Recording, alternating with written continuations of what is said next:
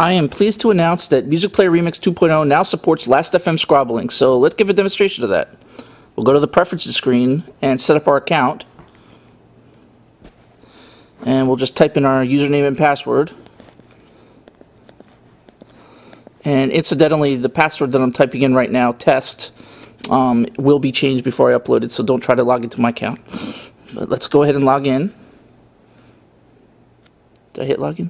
There it is. And so you have the option of enabling scrobbling or disabling it if you want. So if you don't want, for whatever reason, to um, upload your track, play track information to Last.fm, you can just disable that at any time and it, it will stop doing that. But let's go ahead and enable it. And let's go ahead and start playing a track. So I'm playing Eve, Gangsta Lovin'. Um, let me go ahead and pause it real quick. And let me just show you that it will show what you are actually playing on Last.fm. And I am playing Eve, Gangsta Lovin'. Now, normally, to register as a play, um, you have to either hit 240 seconds, which is four minutes, or half the track, which in this case would be pretty close to two minutes. Um, I've, for this demonstration, modified the code um, so that it only will have to play 10 seconds. But the normal, the normal um, final um, version will have to play with those rules. But let's go ahead and play it. And so far it's played four, five, six. We'll wait till it gets to 10. And then we'll pause it.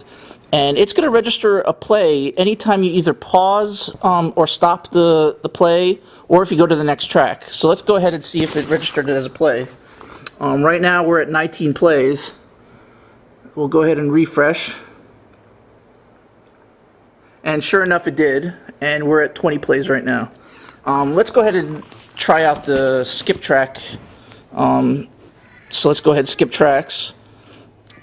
And we're playing this track now.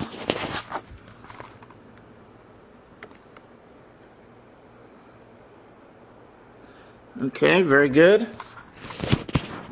And we've already passed 10 seconds, so let me go ahead and skip tracks. And now we're playing Digital Underground. So now it should show Digital Underground, and it should show My Paradise as the last played track, or scrobbled track, and there it is. So there you go. You have full Last FM scrobbling right now. And for those of you who are fans of Last FM, you can now keep track of all your plays on your device using Music Player Remix 2.0.